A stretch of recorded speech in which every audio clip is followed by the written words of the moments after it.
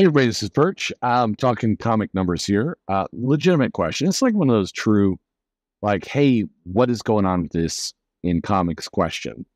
And I haven't gotten one of those. A lot of the questions lately have been like, you know, why is X company stupid? Why is this move being made, et cetera, et cetera. But we're going to go into this one.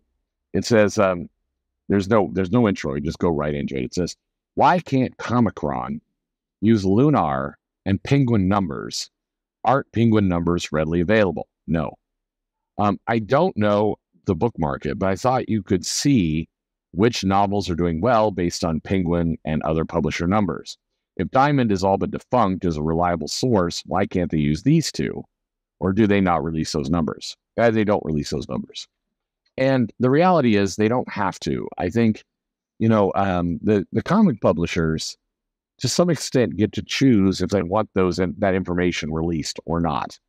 And you know, it, they didn't necessarily block it with Diamond. They let things go out. These numbers got published.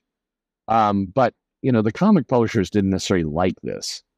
I, depending on who you talk to, by the way, you get different answers. Um, talking to people at Marvel and DC, I've always gotten kind of a, well, we don't really care. You know, if the numbers go out, we don't really care. But if you get, you know, people sufficiently drunk, they will tell you, we really do care a little bit. We prefer it not to go out, but you can't. It's kind of the old adage, by the way, if you're in business, you can't take something away that's free. Have you ever heard that? It's uh, one of the things if you're, you know, building a product or you're doing kind of software, the subscription service or anything else. There's an old adage that says, if people, you know, if you offer something for free, you kind of always have to offer it for free. If you start charging for something that previously was free, people are going to lose their shit over it. And so it's a little bit of this kind of as well, which is, well, the numbers are out there and they've been published. And so if we go in there and we say, like, if you're Marvel, we go in there and we say, hey, we don't want this to happen anymore, then, you know, the retailers and other people are going to bitch. And then, you know, we'll look like the bad guy. What's interesting is like DC always kind of hoped Marvel would do that because Marvel, if anybody's going to be heavy handed about the numbers, it was going to be Marvel. Um, but so DC always kind of hoped that Marvel would throw down, uh, but they they didn't. And Marvel would always hope that kind of DC would get angry about it, but they didn't either. So what ultimately happened was nobody uh, nobody did anything, basically, and so the numbers were out there. But when the change got made to Lunar and Penguin and it got dispersed, there were kind of two things that happened. The first was that, you know, you no longer had one centralized source for the numbers. You had numbers coming from a couple different places. And so what that meant was you could say, let you know, let's use the lunar numbers, but lunar numbers aren't everything. It's just it's it's part of the numbers. And so as a result, they weren't going to be completely accurate. It's a little bit like the Comic Hub numbers today. It's like it's a small sampling what's going on. The Penguin Random House numbers as well. I mean, it's part of the market, but it's not all of the market. And so, therefore, it's very easy for all parties to go, well, you know, Penguin Random House, you know, putting out the numbers is kind of a pain in the ass. We don't really want to do it. The publishers don't want it done.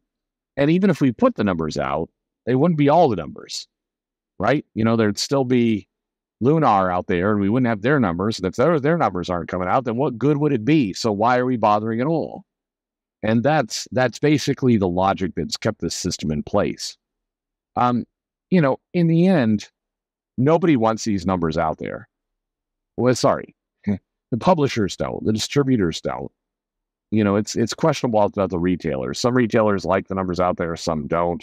It's always kind of a weird, like it's it's a weird thing. Of if you go to Comics Pro or you go to some of these places, you get retailers who are very militant about the numbers never coming out. And I always found I found that really, really weird. Like why like why you die on that hill? It's just a strange it's a strange argument to make.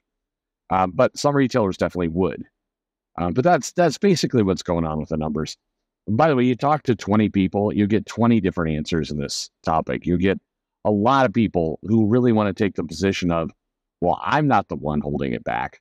I'm not the one who's a dick who's keeping the numbers out. I am perfectly open and transparent, and I'm willing to give all my numbers free to the masses, but oh, woe is me. You know, my dream of being, you know, an open and transparent company is foiled by these other factors that just won't play ball like I will play ball. So therefore, I guess we're just gonna I guess those numbers will just never come out. It's a damn shame, but that's the way things work sometimes. Aw, shucks. And that's basically everybody's stance here. But, you know, a different way of looking at this and thinking about this might be this. Um, what's the harm if the numbers came out? Well, if you're uh, publishing lower selling comics, you know, you, you look silly, you look smaller, you look embarrassed. You know, if you're DC, you really want to be considered the number one comic company. You're not. Marvel is doing better than you, but you don't like this and you don't want to rub, you know, yours or anyone's nose in it. You you still would like to be portrayed as a number one company. If you're Marvel, you really don't want anybody to kind of step back and look at the numbers and go, wow, we're at a declining curve. I'll, I'll let you know this because this came to my attention recently. It may surprise you to know, you know, despite what uh, some people have said that I'm an industry shill, um, Marvel, to a lesser extent DC, but Marvel in particular, does not like me. Um, I I'm surprised Marvel knows about me as Perch. Definitely, people know about me as Steve, or sorry, my real name. Um, but you know, Marvel doesn't particularly like me.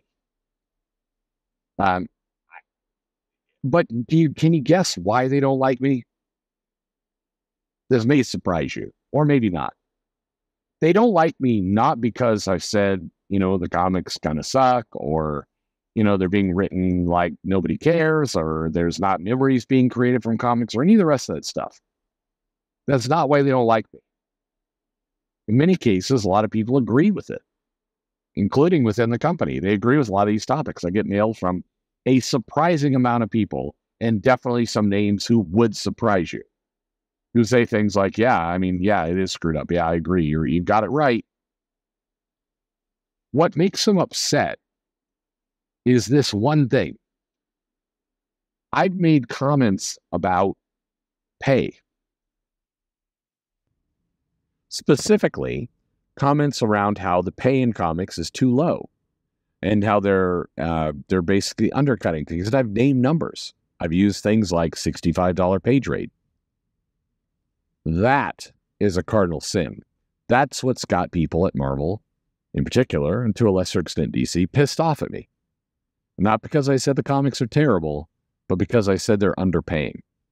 Now, the irony of that is um, th- those videos of all the things I've said over the years, I've made lots of, of weird jokes. I've done lots of dry humor where I put other people's words inside of balloons. I piss off David Pepose, but screw him anyway.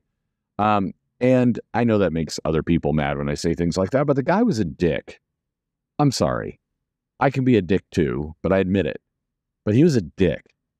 And so if it makes you upset that I'm saying the guy was a dick or he was rude, I'm sorry, but he was. But regardless of all that, the thing that pisses people off is me saying that they're underpaying people. It's me saying that these rates are obscene. And what's funny is that, you know, quote unquote, the other side, that's also one of the topics that has pissed off others. Did you realize that uh, a couple of the yokels out there who say I'm an industry shill who just you know, promotes comics and wants the SJWs to win and all that kind of stuff, they often use those videos, the videos where I say, I think they should pay more. Because somewhere in their weird little twisted mind, they believe that I'm saying you should give Vita Ayala more money. Now, Vita is not working in comics at all right now, so I don't even know what the fuck they're talking about, but fine. They believe that I'm trying to vouch for a raise for Vita, which is just a bizarre ass thing to say. But that's not what I'm saying. I'm not saying you should give a raise to Vita. I'm saying you should pay more in comics. And I'm also saying that if you are Marvel or DC or you know any major publisher, and you're you're basically paying $65 a page, you're not paying a living wage. At that point, I've made the joke, but it's actually not a joke. You would be better off working for Starbucks. You'd get health insurance. You'd get, in some cases, maybe unionized. I don't know. But you're going to make more money working as even an assistant barista at Starbucks, and you get health care. Now, granted, I don't know how many people, you know, as children dream of serving coffee. I, I, I doubt many. It's not like dreaming of writing comics. That is a true dream. Nobody's dreaming of serving burnt ass shitty coffee at Starbucks, but it is what it is. Um, you make more money there.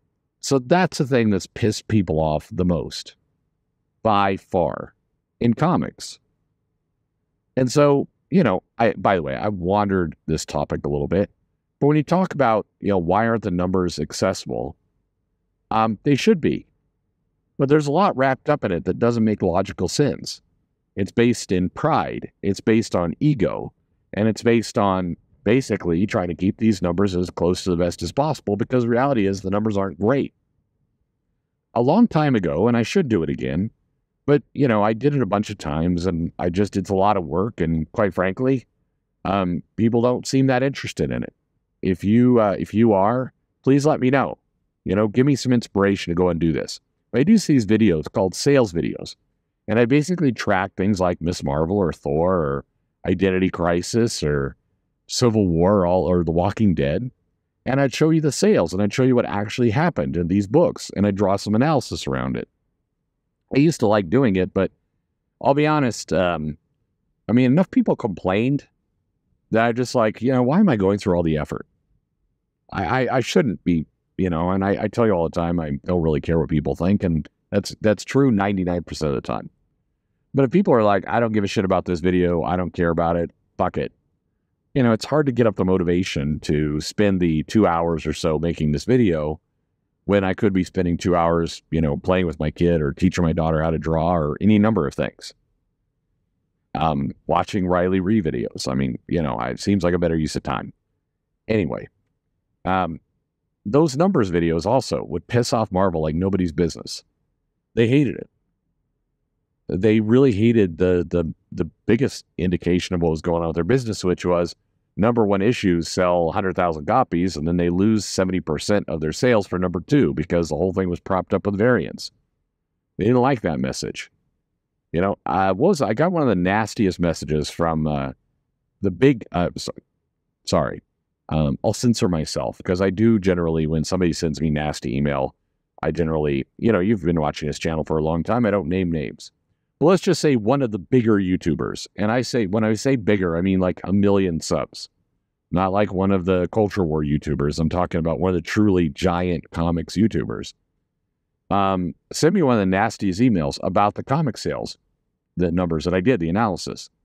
Saying, what do you think you're trying to prove? Saying that, uh, you know, Marvel loses a bunch of, uh, you know, readers from issue one to issue two. What are you trying to prove? I'm like, what I'm trying to prove is that the variant cover schemes artificially prop up comic sales, and it's not healthy. That's what I'm trying to prove. I, I mean, I, it's as simple as that. It's like, well, yeah, but how does this help comics? I mean, it helps comics by getting the fucking publishers out of this addictive, you know, heroin level bullshit that they get themselves into. That's how it helps. But, you know, I, I guess it doesn't help. Anyway, um, the comic sales numbers are not coming back. They're just not. Uh, they, you know, the the publishers hated it for a long time. They finally saw the opportunity to stop producing them, and they they're gonna. So at some point, by the way, the whole system paradigm, you know, the, the everything changes, and we start having a real digital strategy, and we'll start getting numbers again. But for now, unfortunately or fortunately, common sense is your guide. Does this comic suck? Does it not read like anything? Is it kind of dumb and has no purpose? It's probably not selling well. It probably isn't. Fire and Ice created a lot of uh, YouTube videos because it was yeah, it was a shitty comic. It was written poorly and it was dumb.